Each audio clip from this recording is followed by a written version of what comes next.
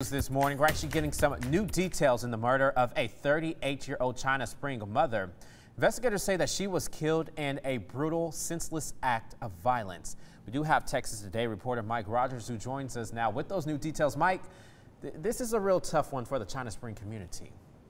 Yeah, good morning, Micah. Uh, certainly is. On Saturday, 36-year-old Richard Ozment committed what the McLennan County Sheriff called one of the most horrific, horrible, and brutal attacks he's ever seen, killing a 38-year-old mother, Michaela Brooker, with a machete and a concrete block.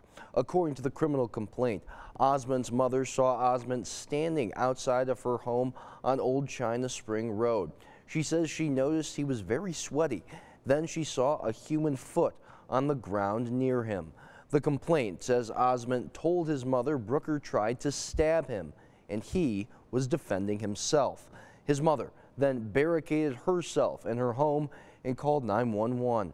Ozment ran from police, leading to a 10-hour manhunt. He was later found just 100 yards away from the murder scene, hiding in a stock pond tank.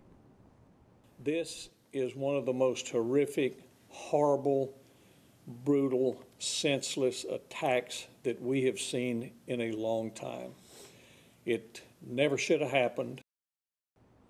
Ozment has been charged with first degree murder. Right now, several questions still left unanswered. Investigators have not revealed why Ozment allegedly killed Brooker or if the two even knew each other.